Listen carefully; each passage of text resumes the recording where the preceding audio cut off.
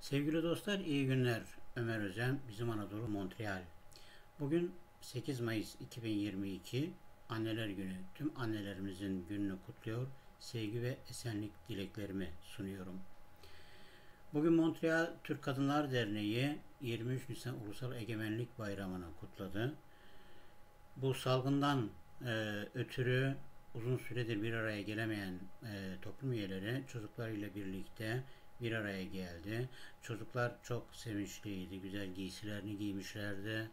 E, yüzlerini boyattılar. Kimi tavşan, kimi kaplan, kimi aslan oldu. Onlar için oyun alanları düzenlenmişti. Orada zaman geçirdiler, eğlendiler.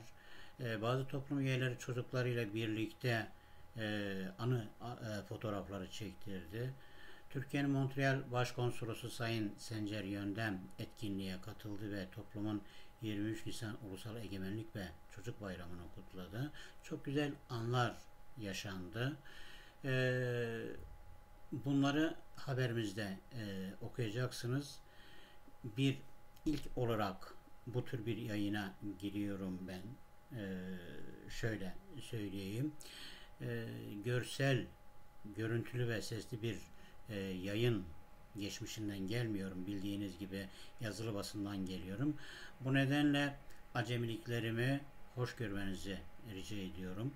E, haberimizi yazılı olarak yine izleyeceksiniz ama bu arada bol bol görsel de izleyeceksiniz. Belki hepsini bizim Anadolu.com'da izleyemeyeceksiniz. Oradan bir bağlantı vereceğiz. Belki toplumsal paylaşım ortamlarından izleyebileceksiniz. E, kendilerinizi göreceksiniz. Belki dostlarınızı göreceksiniz. Bu anlamda yeni bir yayın dönemine başlarken hepinizi sevgiyle selamlıyorum. Hoşça kalın, dostça kalın.